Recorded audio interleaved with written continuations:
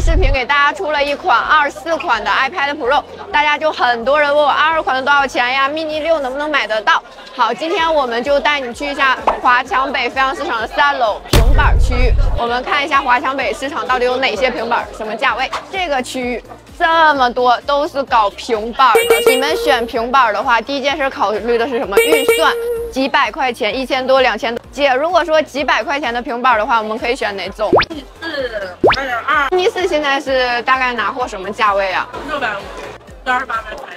平板儿，铁子们，幺二八内存就相当够用了，因为平板你根本存不了那么多东西，哪怕说你六四 G 的内存，它也够用啊。如果说你们的预算的话在一千多的话，你们可以买这几款七代、八代跟九代，我随便拿一个，这个是八代的一百二十八 G 的一个内存，这成色还挺亮的。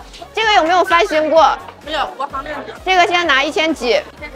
给孩子看个电影什么都够用。我两千多预算的话，你们就可以上高端级别了。我们就可以选 Pro 系列的一个平板。大家都知道 Pro 系列的，像一八 Pro，它是有高刷在的。一八 Pro 小内存的六四 G 的现在都多钱？